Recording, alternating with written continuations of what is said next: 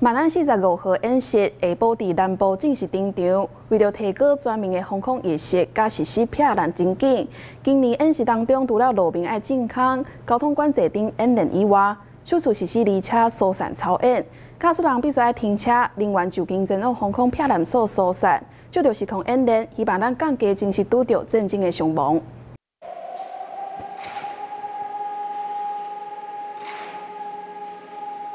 警报声响起，罗宾是康乐乐。万安四十五号演习连续四天的下晡一点半到两点，伫咧全国各区分开的举行。下晡伫咧南部地区正式登场，规个城市参照康城共款，借由实际演练，希望当降低真实拄着战争的伤亡。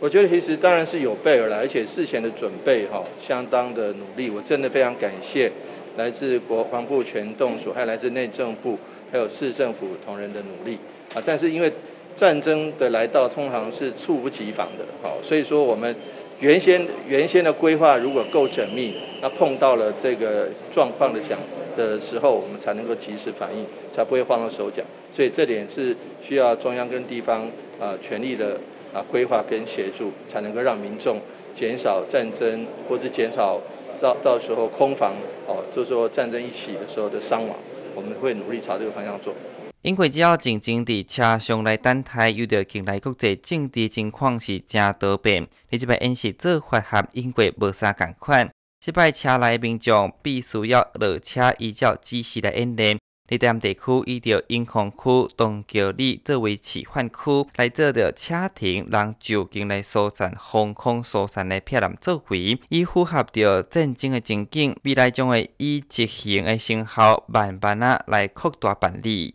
国防部跟内政部啊，我们都一直跨相关的部会啊，从去年就开始对于整个战灾的时候需要去做的应变跟处置啊，非常深入的去做研习。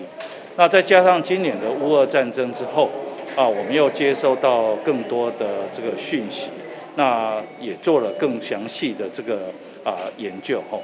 那今年的万安演习呢，除了恢复过去人车必须要做疏散撤离以外，那我们可以这从今年的警报的发放，我们同时加入了国家级的警报。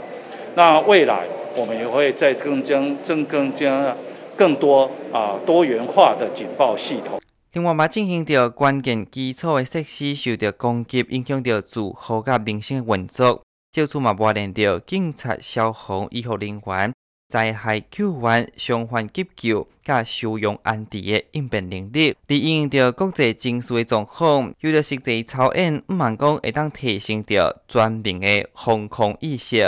记者李新武、范家选英航区采访报道。